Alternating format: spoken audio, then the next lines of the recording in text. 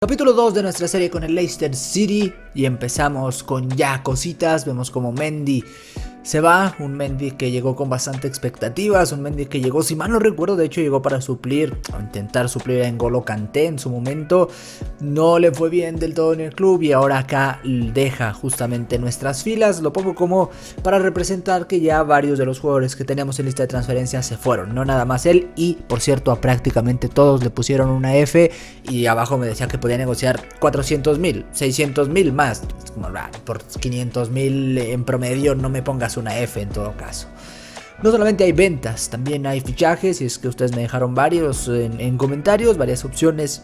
Y pues decidí ir por alguna. Vemos Liverpool, Central, nos pedían traer un inglés, dejaron la opción de Joe Gómez, eh, también evidentemente estaba la opción Godfrey, está la opción incluso Conza, por ejemplo, pero la neta se me hizo interesante lo, de Joe Gómez, les ofrezco a Johnny Evans y 20 millones de libras esterlinas, pero nos iban a decir que no. De hecho, Justamente aquí aparece Harvey Barnes, es un jugador muy solicitado tanto en ofertas de transferencias como mismamente en cuanto yo oferto por alguien, me piden a Harvey Barnes porque Harvey Barnes al parecer es muy bueno en el FIFA y todos los equipos lo quieren.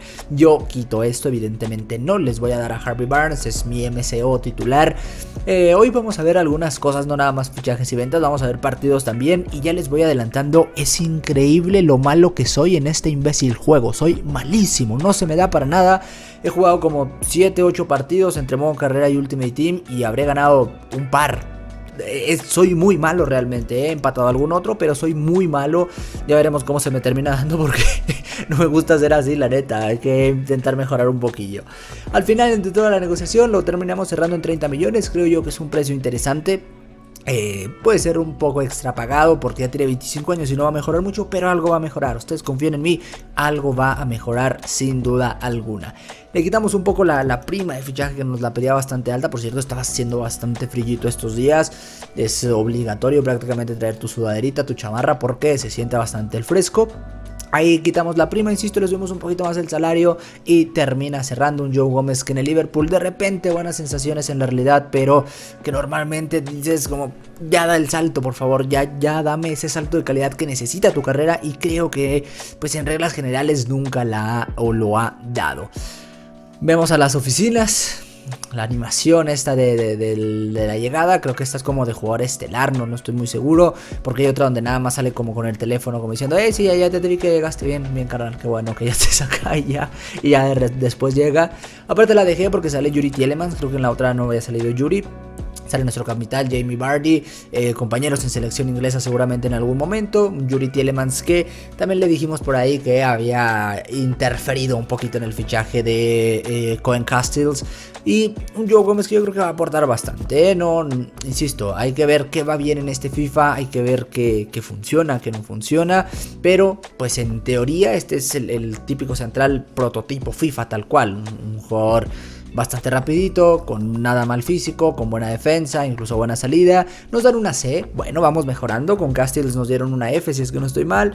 82 de media, o al menos ahí salen 82, pero según yo tiene 81, entonces no termino de entender qué es ese número que pone al inicio, porque vean ahí, a la derecha justamente sale 81 eh, de media, entonces, bueno, no sé, el caso es que nos pusieron una C. Yo creo que no está mal, yo creo que es un muy buen fichaje, creo que necesitamos reforzar sí o sí la defensa y ya vamos por uno, pero no nada más uno. Vamos por el siguiente, directamente desde el Bayer Leverkusen, directamente desde Ecuador. Vamos a ir por un jugador que en la realidad me gusta bastante, que me ha sorprendido, no, no lo he visto mucho, pero de repente que veo la Bundes, en general el Bayer Leverkusen me parece un equipo interesantísimo como bastante entretenido de ver.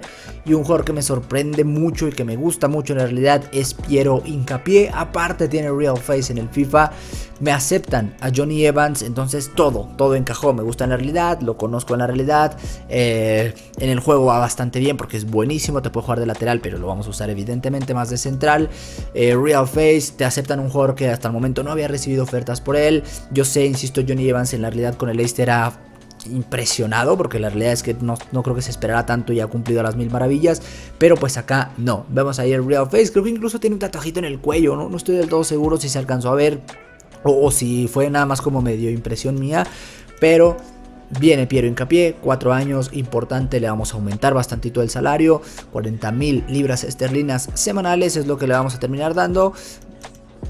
Bueno, acá, ah, claro, porque quería que viera nada más, dije, porque lo estoy haciendo? Que, que, se baja en las dos. En FIFA pasado nada más te bajaba el presupuesto salarial y ahora cuando ofreces una cantidad también te baja en, la, en el salarial y también te bajan el de transferencias, en el presupuesto para, para transferencias, porque ahora ya no hay barrita que, que muevas y, y, asignes más a una u otra cosa. Entonces, Piero Hincapié, otro de los fichajes que hicimos, dos, ahí está haciendo las pruebas médicas los pasa con, con, ningún tipo de problemas. Se pone ya la playera de Leicester, el color azul le queda bastante bien. Pirlo con Piero Hincapié, un jugador que trazos largos le vienen bastante bien y que aquí sí, me dan hasta un, premio, ¿no? un trofeo, no sé cómo se diga eso de abajo, eh, porque sí, nos dan una A, por fin, hasta nos avienten hay papelitos de esos de los de Sabadazo para que se termine de, identificar como un gran fichaje porque sí, buen jugador de plantilla, yo creo, insisto, viene a ser titularísimo sin duda alguna, Westergaard ya tenía ofertas, Westergaard se terminó yendo, que lo comparan con él siempre,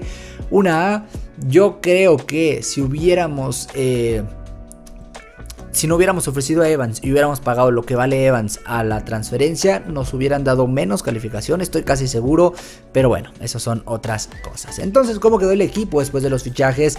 Básicamente así. Este sería el 11 titular en teoría con Cohen Castells, uno de los fichajes que hicimos, con Pereira, que la capitanía que darse la Bardi creo, Gómez Incapié en la central, dos nuevos jugadores, por acá Timothy Castagni, luego Wilfred Ndidi, Julie Tielemans, James Madison, de MCO eh, Barnes, Harvey Barnes, arriba Jamie Vardy que ya empezó a bajar de media de hecho y Patson Daka. Creo que tenemos un muy lindo equipo. A mí me parece un equipazo, la neta, un, equipo muy interesante. Pero también el equipo B, la neta, no se me hace nada, nada despreciable con algunos cambios interesantillos. Eh, o al menos impresionantes o increíbles, no sé cómo decirlo. Justin Faes, eh, y Thomas en la portería guarda evidentemente. Luego en medio campo Soumaré, que está bien dentro de lo que cabe, yo creo que tiene algo de potencial.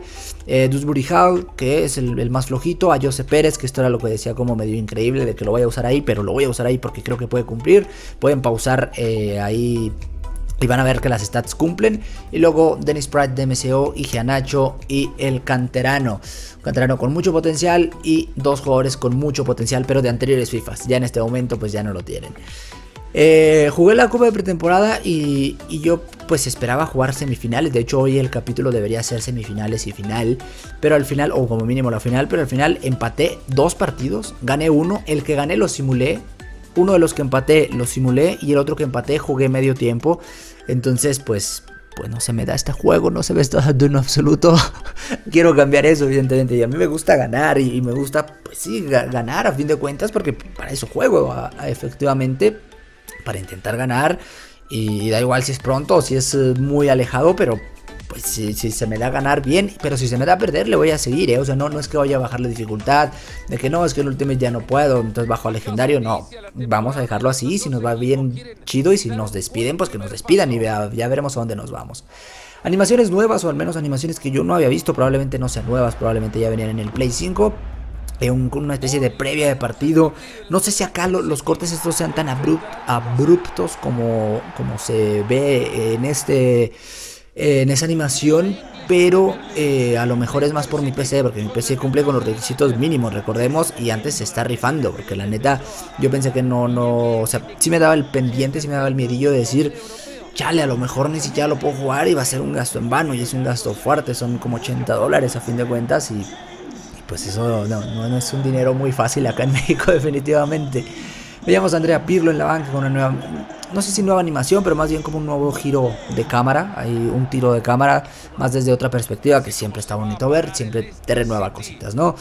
Vamos con el 11 de gala, vamos con nuestro 11 titular, que acá lo ponen lo ponen al revés, por decirlo de alguna manera. O sea, en teoría los jugadores sí están donde deben de estar, pero te lo ponen como si lo estuvieras viendo de, de arriba a abajo, a como aquí justamente, y no al revés que se me hizo medio raro, una tontería y una estupidez, pero pues se me hizo medio raro que lo pusieran así y dije, lo voy a decir.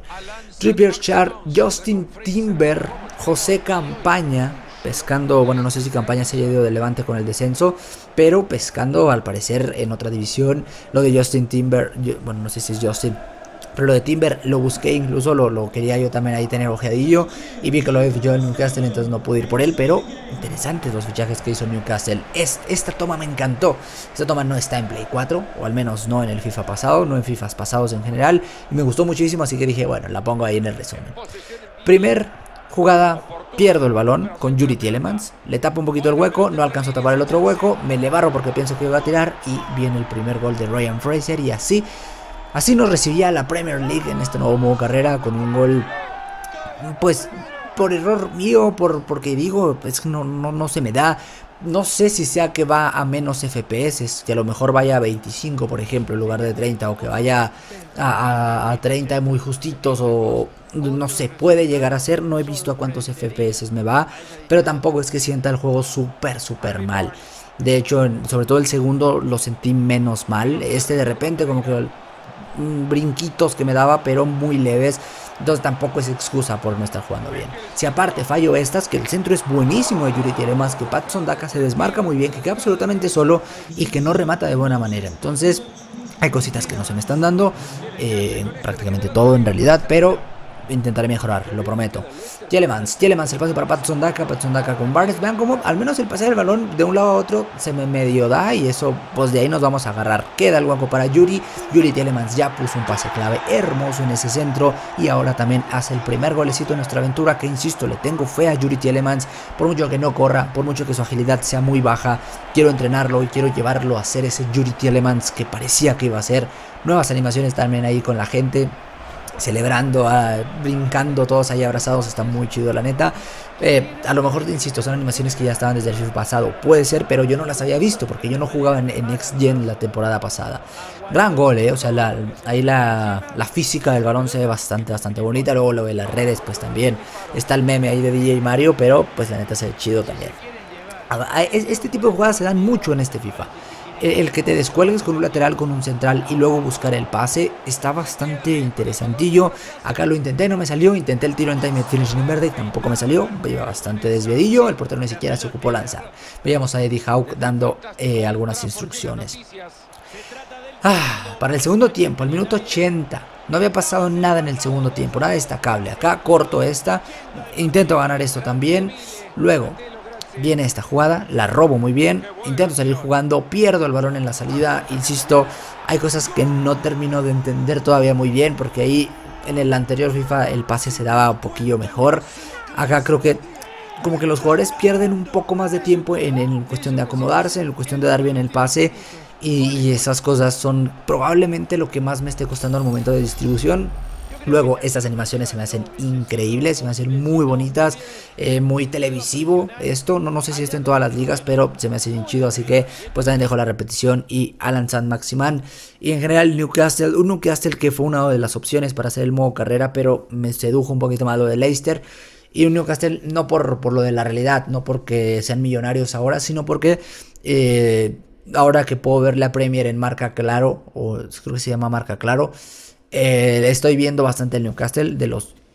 Pues creo que he visto todos los partidos, a excepción de a lo mejor algún tiempo de uno o algún partido. He visto todos los partidos del Newcastle, entonces me gusta mucho ver al Newcastle, es muy entretenido con Maximan, con eh, Almirón, con Willock, con Joelinton, ambos jugando ahí en medio campo, eh, protegidos por Bruno Guimaraes, que es buenísimo, Sven Botman ahora también, es un equipo muy entretenido de ver realmente, y por eso eh, lo, tomé muy a consideración. Wolves podría ser un equipo, pero ya he hecho un par de modos carrera con ellos. Acá los vemos saliendo. No está Raúl Jiménez, no está en el 11 titular, pero no está, por cierto, lo de los niños. Hermoso, o sea, una puntada increíblemente bonita. Se hace increíble que salgan con niños. Eh, no sé, son detallitos muy chidos, la neta. Otra vez el tiro de cámara por acá con, con nuestro queridísimo Andrea Pirlo. Se me fue. Ah, lo de Raúl Jiménez. No está en el 11 titular, pero no está ni siquiera en el Worlds porque se convirtió en compañero del Chucky, a no ser de que el Chucky haya salido en el Napoli. El Napoli terminó pagando, creo que 20 y pico millones, 25 creo, por él. Entonces, pues ya no lo pudimos enfrentar ahora que me acabo de dar cuenta, sí está en la banca. Probablemente lo de la transferencia sucedió después de eso porque estoy seguro que me salió la noticia de Raúl Jiménez al Napoli, así que probablemente fue después de este partido, disculpen. Di una información que no tenía ni siquiera en mente dar, que se me quedó y que terminó siendo errónea, pero el caso es que se termina yendo, no lo vamos a enfrentar más, o al menos eso creo. Eh, vamos con el 11 de Gala otra vez. Pasó una semana, descansaditos, bien. Bueno, medio descansados. Algunos jugadores no descansaron tanto, no sé por qué. Creo que el entrenamiento lo programé mal. Y, esta jugada la pongo justamente, o este clip lo pongo para que vean cómo esa, o sea, es una salvada en teoría, o no en teoría, pero es una salvada in extremis. Llegamos hasta el último punto. Acá le robo el balón bien y otra vez, otra in extremis. O sea, ya en el punto de o el pase clave o el centro clave o el tiro ya, ya de plano que me podría vencer. Así prácticamente estoy defendiendo todas las jugadas porque no se me da, insisto. Ven acá otra vez, por ejemplo, en el último. O sea, ya, ya cuando estaba tirando es cuando llega mi defensa. Le hago muy bien la cobertura, al menos eso creo yo. La movilidad de los defensas ni siquiera la siento mala. Pero no sé, por algún motivo no se me da. Acá le entro, se va, hace una animación medio rara, medio cubriendo el balón cuando no había nadie cerca. Siguen teniendo el esférico, viene el remate y ahí está Castiles. Afortunadamente pues la, saca, pero insisto, hay cosas que no, como, que no termino de entender todavía. Acá cubría muy bien el, balón con Bardi, luego Barnes, un pase malísimo para Daka. Le voy a presionar porque la intención es justamente presionar. Vean toda la cantidad de jugadores que tenemos arriba. Soyunju gana por arriba, deja para Ndidi, este para Bardi.